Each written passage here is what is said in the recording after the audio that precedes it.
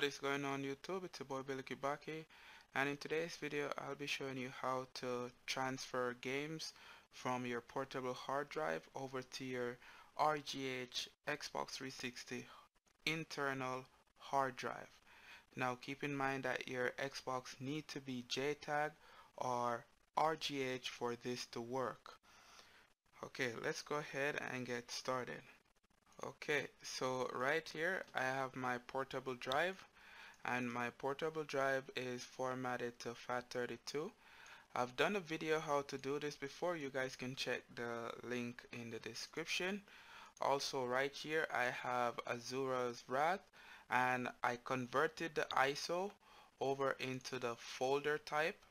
I have done video how to convert this so you guys can check the description to, to watch the video how to convert your ISO into folder format okay?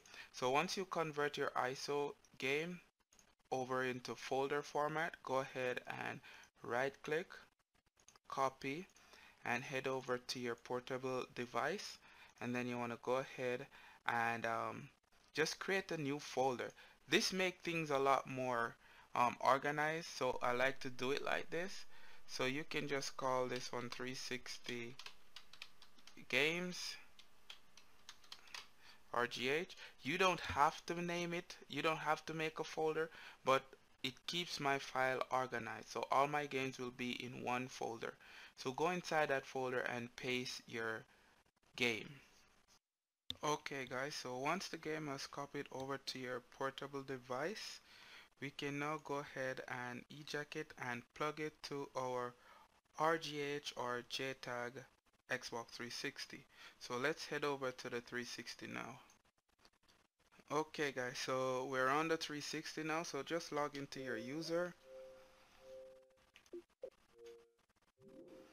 So go up and go over to the games go to my games and we want to go ahead and launch X menu okay so X menu pops up. So press the right bumper on your controller. So that's the right bumper. And you will see that we're now in the USB 0 and right here we have the 360 game RGH folder that we made.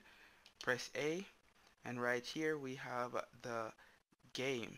So you guys can play it from the portable device or you can transfer it over to the system. So let's go ahead and transfer it over to the system. So you want to press Y on your controller then press A on copy. And that's it copy source as you guys can see right there. So now press X on the controller go down to HDD1 that's your internal hard drive press A.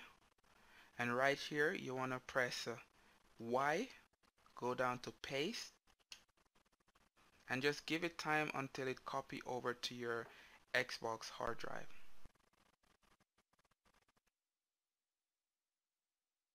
Okay guys so we just copied over the game to our um, HDD1 the internal hard drive.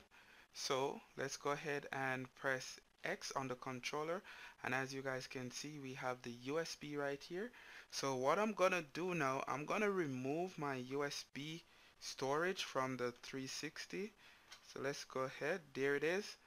So as you all can see let me press um, B press X one more time. As you guys can see I no longer have my USB plugged in. And right here we have the game so let me just cycle through cycle through the menu. So I'm gonna press the right bumper.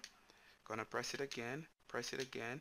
And as you all can see I am still on my HDD1 so I have removed I have completely removed my USB stick. Alright so let's go ahead and press A go down to default.xex press A launch the game and there you go guys 100% working so that's how easy it is to transfer games from your portable device or portable storage over to your internal storage on your JTAG or your RGH Xbox 360. So guys, if the video was helpful, please leave a like. Also share the video around and also you guys can subscribe for more video to come thank you all for watching and i will see you guys in my next video.